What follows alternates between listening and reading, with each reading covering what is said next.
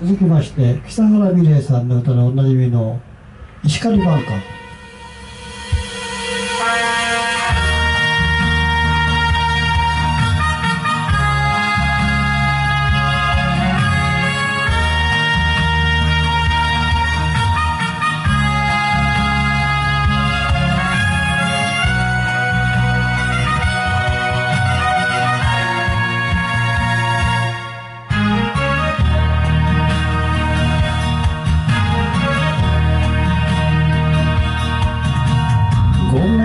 が鳴くからニシンが来ると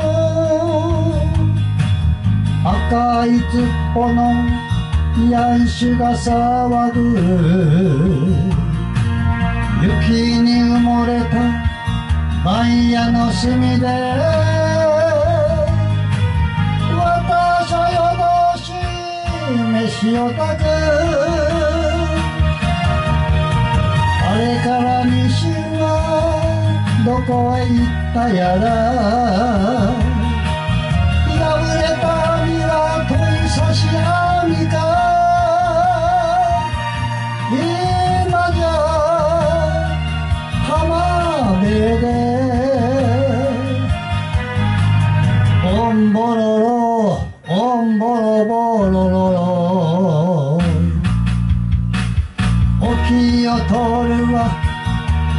傘と丸。私は涙で牛曇りのそ空を見る。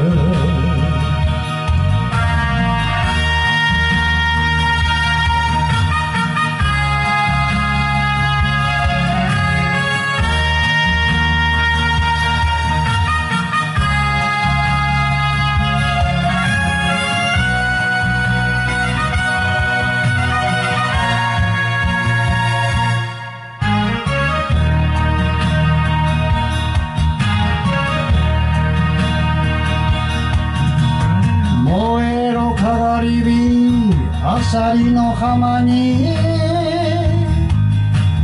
海は銀色ニシンの色よ。ソーラン節に頬染めながら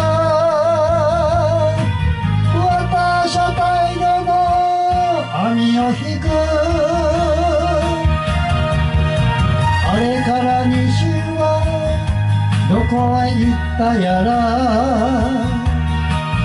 おたもい岬の西御殿も